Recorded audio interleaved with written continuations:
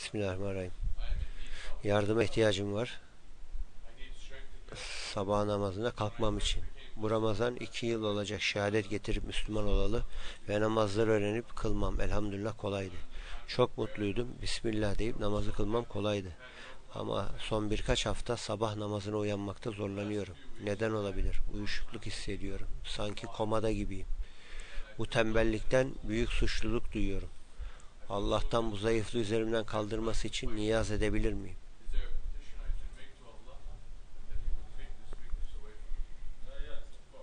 Elbette. Bismillahirrahmanirrahim. Bu çok normaldir. Zannetme ki bu çok e, alışılmadık bir şeydir. Bu zayıflıktır.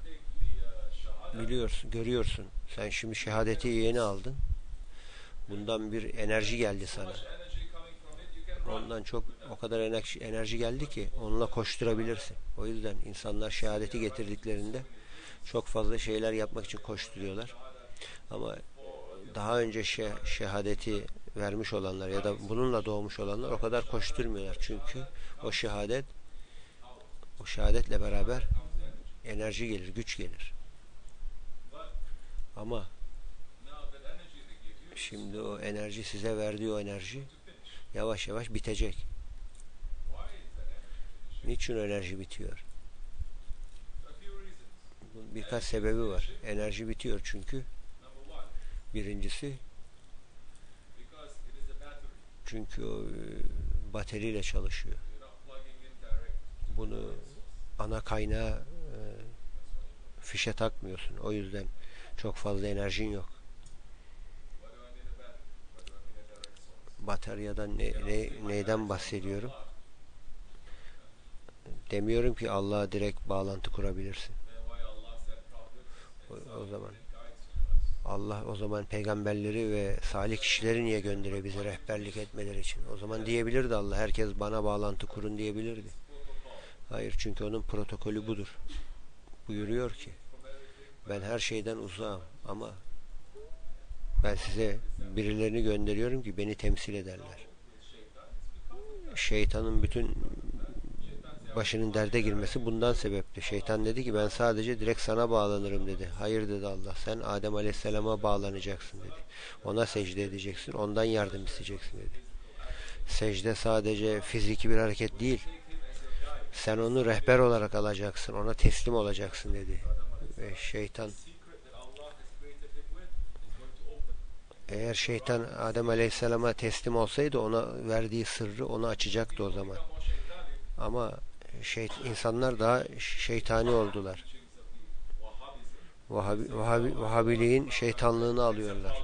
Ve diyorlar ki hayır ben kimseye bağlanmıyorum. Ben sadece Allah'ı kabul ederim diyorlar. Tıpkı şeytanın yaptığı gibi. O, o sahip olduğun o şehadet bir bir mübarek kaynağa bağlanmadıkta bağlanmadıkça direkt enerji gelmedikçe o şehadetle gelen o enerji, o batarya enerjisi bitecektir. O kaynağı bulman lazım. O zaman nedir o yapabileceğin şey? O, o çeşit bir enerjiye sahip olan kişileri bul. Onları bul ki bu ruhani bağlantıya sahip olanları bul. Onlar hiçbir zaman demezler bendedir o kaynak demezler. Ben hiçbir şey bilmiyorum derler. Ama ben seni şeyhime seni bağlarım. O da der ki bende de hiçbir şey yok der. O da der ki ben kendi şeyhime bağlanırım. Ondan enerji alırım. Ta ki bu peygamber efendimize gelir. Ve peygamberimiz aleyhissalatü vesselam da buyurur ki Allah der. Kendini göstermez. Eğer birini bulursan ki sadece beni takip et Allah'a ihtiyacın yok derse peygamberi o zaman oraya işte büyük soru işareti koy. Ama gerçek hiçbir tarika şeyh, şeyhi bunu demez sana. Ama her tarafa yayılan o hastalık var ki onlar diyorlar ki biz bunlara onlar diyor biz biz bunlara ibadet e, tapıyoruz diyorlar. Şeytan dedi ki ben ben Adem Aleyhisselam'a e, ibadet etmem diyor. Ben sadece sana ibadet ederim. İbadet etmek şirki yapmak demektir ki o, o da aynı zamanda Allah'tır. O da yaratandır. O, Peygamber Efendimiz'e o kadar büyük sevgimiz var ama 1400 yıldır biz haşa estağfurullah ona ona taptık mı? Şeyh, şeyhimize o kadar sevgimiz var. Dedik mi biz şeyhimiz bizim yaradanımız? Hayır. Onun elini öp, öp, öper miyiz? Öpmeliyiz. Ayaklarını öpmeli miyiz? Evet. Çünkü sahabiler birbirlerinin elini ayağını öptüler. Yusuf Aleyhisselam onun annesi babası onun babası da bir peygamber değil miydi? Evet, onun babası da bir peygamberdi. Onun onun babası ve kardeşleri de peygamberlerdi. Onlar ona ne yaptılar? Onun el, elini mi öptüler? Onun ayağını mı öptüler? Hayır, ona secde ettiler. Kur'an buyuruyor. O anlamayanlara bakın buna de ve bunu inkar edin edebiliyorsanız. Onun babası peygamber ona secde ediyordu. Bu bu secde saygıdan sebep şeref şerefli kişiye yapılan secdedir. Bu değişiktir. Biz insanları birbirlerine secde etmeleri için e, cesaretlendirmiyoruz. Yanlış anlamayın. Ama bu saygı gösterme işaretidir. Onlar ki Allah'a yakın olanlardır. On, bu onların e, delillerindendir. O halde direkt e, ilahi kaynaklara e, direkt bağlantısı olan birini bul ve onunla beraber ol. O yalnız olmayacaktır. Onun da bir cemaati olacaktır ve o cemaatle beraber ol. Yavaş yavaş daha çok güç kuvvet bulursun taşıyabilmek için. Yoksa bu dünya özellikle bugünlerde çok zordur. Çok ağırdır. Çünkü her gün ayrı bir ağırlıkla geliyor. Her gün ayrı lanetlerle geliyor. Lanet yağıyor her gün. Allah'ın azabı yağıyor yeryüzüne. Ve Müslümanlar için çok ağırdır bu. Özellikle yalnız kalmış olan Müslümanlar. Çünkü müminler her zaman cemaat olmalıdır. Allah emrediyor. Allah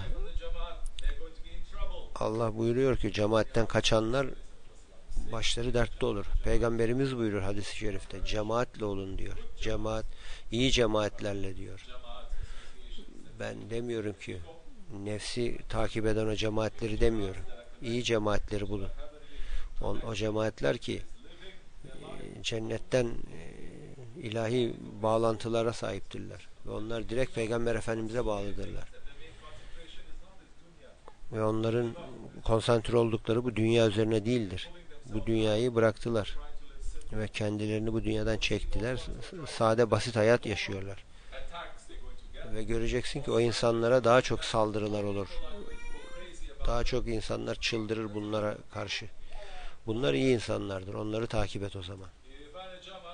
Eğer bir cemaat bulursan ki herkes onunla onunla mutludur. Herkes bütün medya onlara ilgi gösteriyor.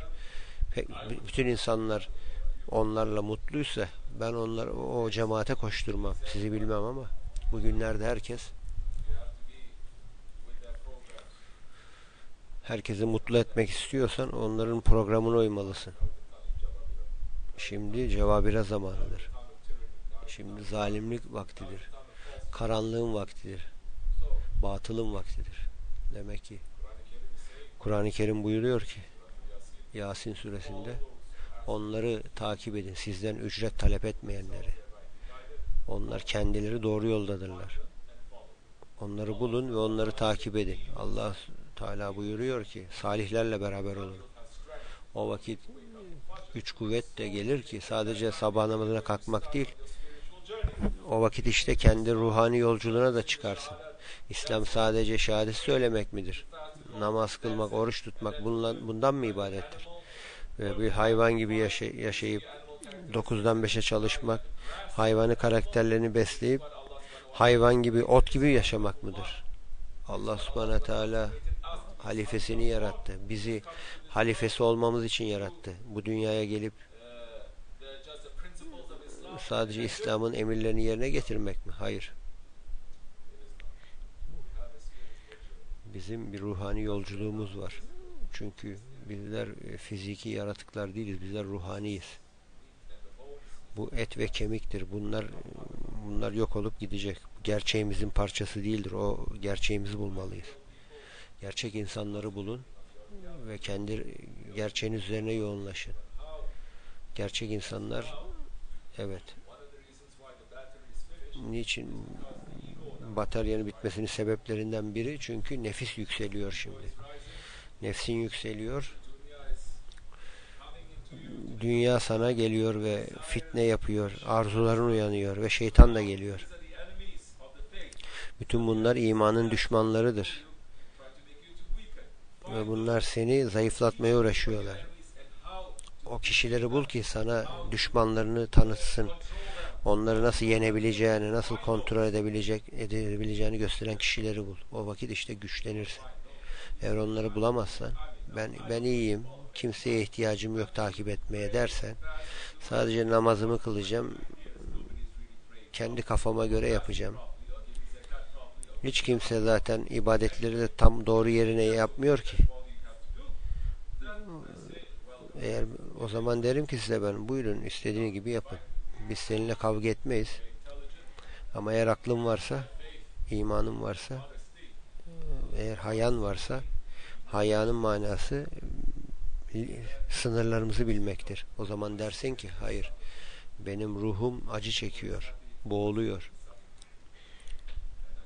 Nefsim benim mutlu. O zaman kendimi özgür kılmalıyım. Benim ruhumu özgür kılacak kişileri bulmalıyım. Biz onu bulduk elhamdülillah. Şeyhimizle kılıcın sahibi Şeyh Abdülkerim Kıbrıs Rabbani Hazretleri bu zamanın en büyük evliyalarından biri.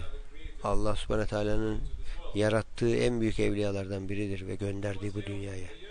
Bir yıl önce bu dünyadan perdelendi ama onun gücü hala gönderiliyor bu dünyaya.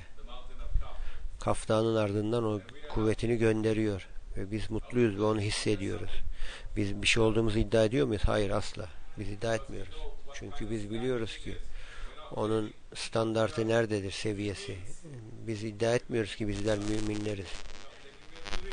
Mürit olduğumuz bile iddia etmiyoruz. Müridin nerede olduğunu biliyoruz. Ama biz çaba gösteriyoruz. Bizim şeyhimiz önümüzdedir ve biz onu takip etmeye çalışıyoruz. Düşebiliriz ama kalktığımız yerden, düştüğümüz yerden kalkıp devam etmeliyiz. Selamun Aleyküm ve Rahmetullah. Evet.